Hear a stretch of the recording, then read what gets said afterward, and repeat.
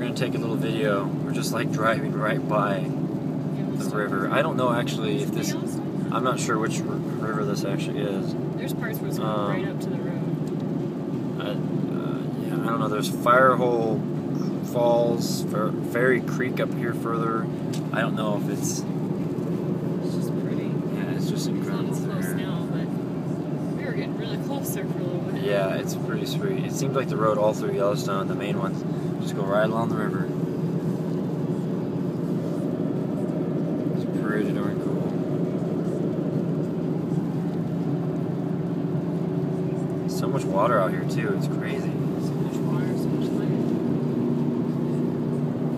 We're heading out to Old Faithful. I know about ten miles away.